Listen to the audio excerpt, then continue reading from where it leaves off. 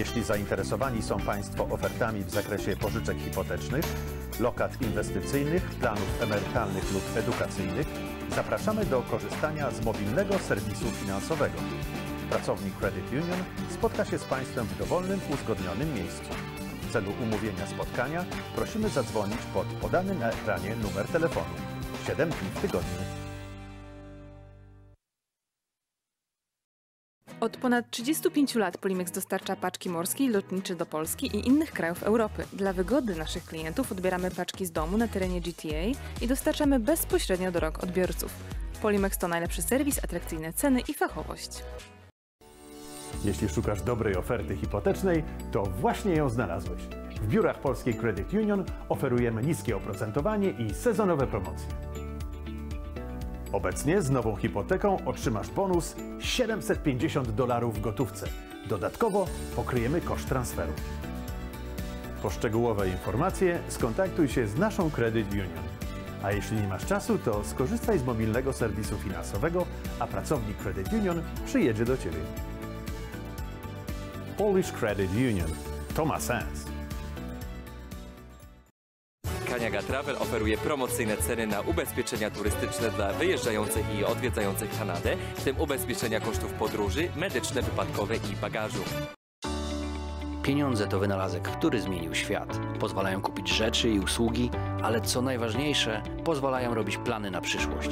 Przedstawiamy nasz nowy serwis Personal Financial Management. Wystarczy, że zalogujesz się na stronę Polskiej Credit Union, będziesz miał darmowy dostęp do wszystkich transakcji, które zrobiłeś, nawet tych przeprowadzonych w innych instytucjach finansowych. Ale oczywiście to nie wszystko. Personal Financial Management pozwala Ci ustawić i kontrolować Twój budżet, który jest dopasowany do Twoich indywidualnych potrzeb. Życie nie stoi w miejscu. Twój budżet też nie powinien. Zobacz swoje wydatki w kategoriach, które mają sens dla Ciebie. Sprawdź, na co Ty wydajesz pieniądze. Spójrz globalnie na swoje finanse, a będziesz mógł podjąć lepsze decyzje. Po więcej informacji odwiedź naszą stronę internetową lub jeden z naszych oddziałów.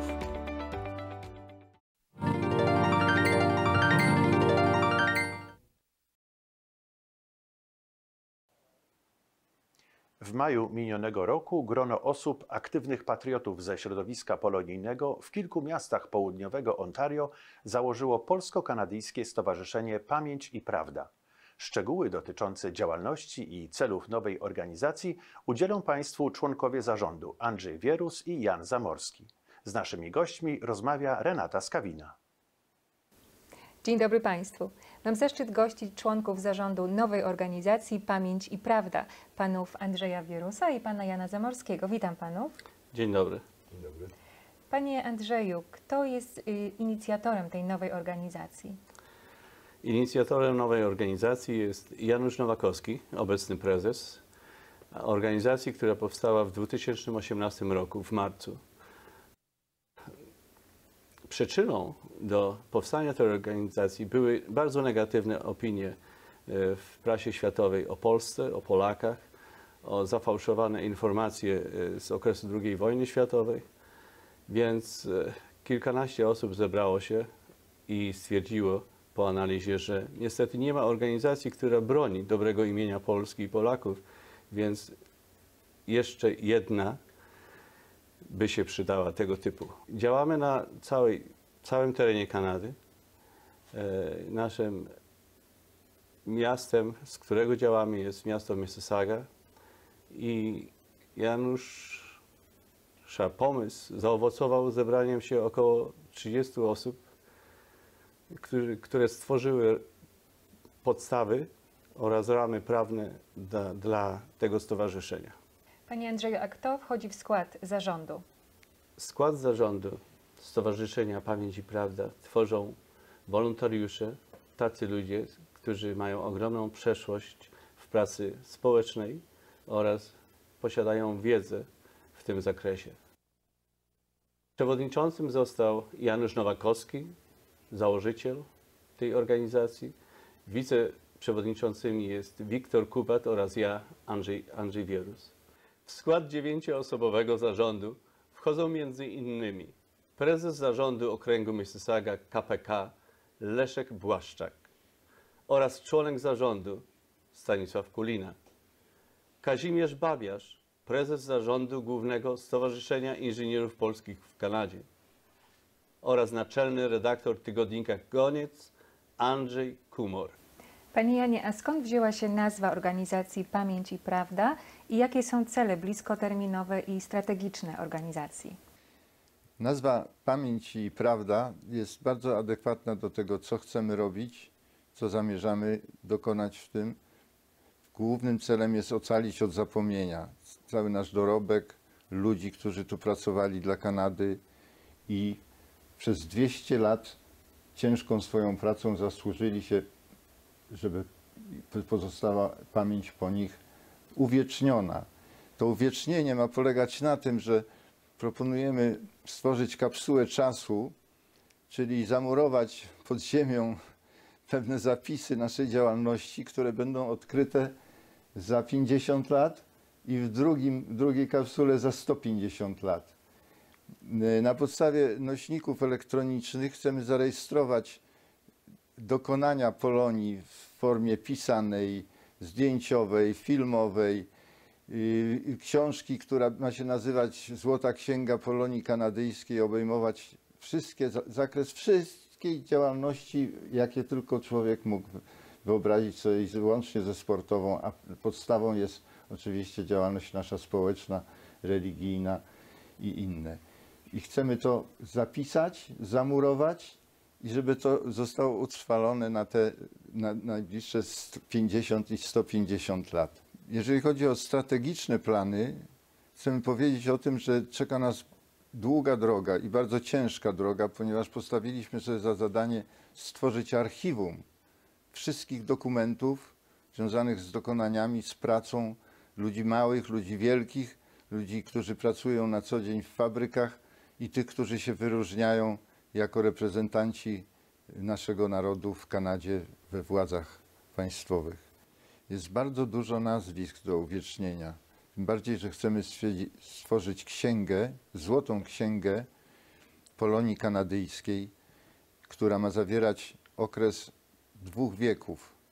W tej księdze muszą być zawarte prawie wszystkie nazwiska Polaków i musimy zdobyć te dane od parafii polskich, od władz kanadyjskich, od organizacji, które mają te zapiski i one jeszcze kultywują, trzymając swój, swoje archiwa. Niestety większość archiwów już znika. Większość bibliotek tych znanych y, społecznych organizacji, jak Związek Polaków w Kanadzie czy Związek Narodowy Polski, one są w zaniku, po prostu idą w zapomnienie i my musimy tą rzecz ocalić od zapomnienia. Musimy stworzyć taką, taką silną grupę ludzi, żeby, żeby nie, nie utknęło nic z tej naszej działalności. Jest to nasza idea fix, ale myślę, że przy pomocy wszystkich organizacji, wszystkich ludzi dobrej woli osiągniemy ten cel. To były cele krótkoterminowe i strategiczne. A co z działalnością poza statutem? Może ja jeszcze chciałbym dodać do wypowiedzi Janka fakt, że głównym celem Stowarzyszenia Pamięć i Prawda jest walka o dobre imię Polski i Polaków, walka z antypolonizmem i rasizmem oraz współpraca z rządem polskim bez względu na opcję polityczną. Ważne jest, żeby rząd wyznawał zasadę Bóg, honor i ojczyzna. Jednym z ważniejszych celów Stowarzyszenia Pamięć i Prawda jest stworzenie również we współpracy z Centrum Polonijnego w, w Mississadze punktu informacyjnego dla całej Polonii. Dokumentacja historyczna, która w tej chwili jest w posiadaniu organizacji społecznych kombatanckich, w pewnym momencie przestanie być dostępna i chcielibyśmy stworzyć punkt, gdzie te informacje byłyby składowywane i dostępne dla wszystkich pozostałych osób. A jak zamierzacie jako organizacja Pamięć i Prawda uhonorować największych Polaków, twórców Polski niepodległej, współczesnych patriotów i obrońców wolności Polski? Y, ci wielcy Polacy, których Pani wymieniła w pytaniu, znajdą miejsce w Wielkiej Księdze Wybitności Polskich w przeciągu tysiąclecia ostatniego. Chcemy tam zarejestrować tysiąc nazwisk ze wszystkich dziedzin życia społeczno-kulturalnego, wojskowego, religijnego i sportowego. Dzisiaj chciałbym Państwu przedstawić kilka nazwisk z tej plejady naszych gwiazd. Pierwszą postacią na naszej liście jest święty Jan Paweł II, najwybitniejszy Polak tysiąclecia, słowiański papież ekumenicznego pojednania, inspirator solidarności i oswobodzenia narodów. Następną postacią jest święty Maksymilian Maria Kolbe, rycerz Matki Boskiej Niepokalanej. Oddał swe życie bliźniemu w niemieckim obozie koncentracyjnym w Oświęcimiu. Następną postacią jest błogosławiony ksiądz Jerzy Popiełuszko, męczennik za wiarę i wolność Polaków.